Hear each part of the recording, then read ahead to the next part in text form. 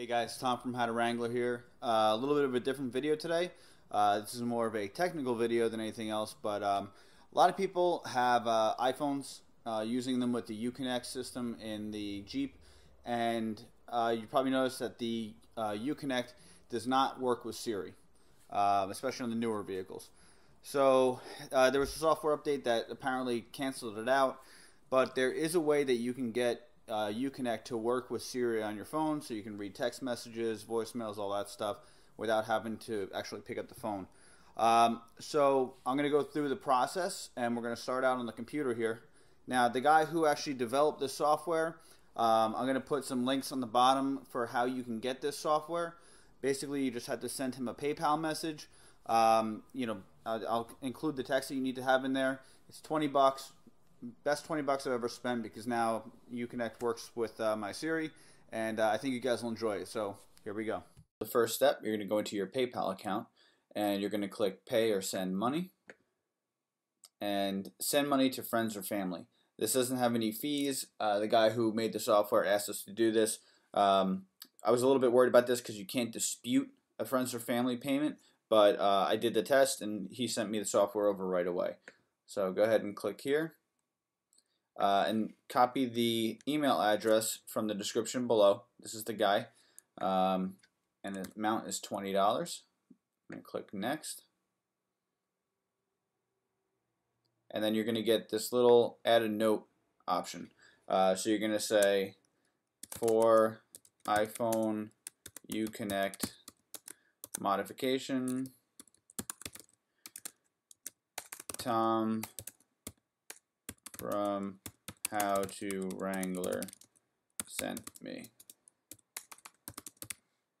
Okay, and then you're going to say my email is, and then you're going to pop your email in there, and then you're just going to click send, and then I'll show you on the next step here the email that I received. Okay, so once you receive this email, the first thing you're going to want to do, even though it's the second instruction, is to put a thumb drive into your computer and format it to FAT32. Now on a Mac, like I am, you're going to go into Disk Utility,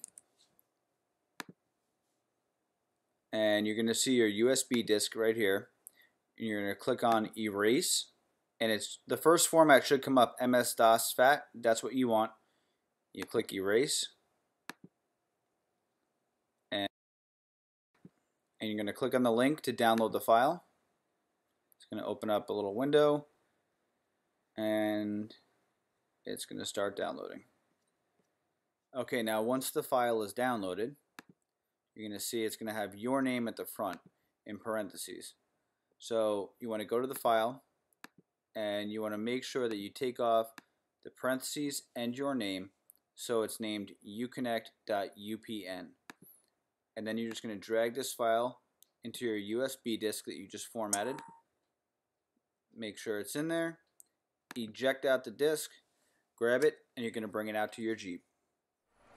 Okay, so now that we're out in the Jeep, I'm going to take the USB, and I'm going to pop it into the center console USB. Next step, I'm going to press the Uconnect phone button. iPhone 6 is connected. Uconnect phone ready. Setup software update. Starting software update process. Please wait. Okay, and there it goes. Now this might take a little while, so I'm to let it go. It's to say SW update started. And you're to hear a series of beep. So I'm to let this go, and I'm to come back once it's done. Okay, now that the setup is done, it'll just go off. It's to reboot, but you don't really see that apparently. Um, and once it's finished, you pop out the USB card and then just to test and make sure that you got the right system software, it should be 63.06.03. So you're going to do this. Press the button. iPhone 6 is connected. Uconnect phone ready. Setup system software.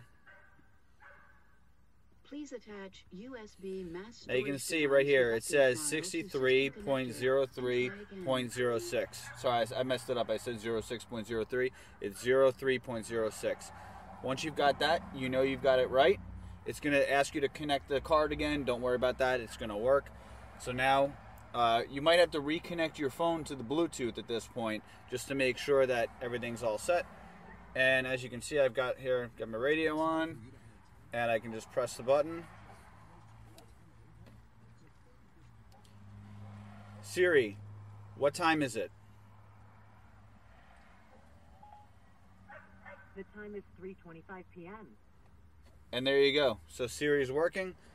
Now once it closes out, it's going to say phone call ended. It's going to act just like a phone call, but you're going to be all Phone set. call completed. Now Siri will work completely with your Uconnect system.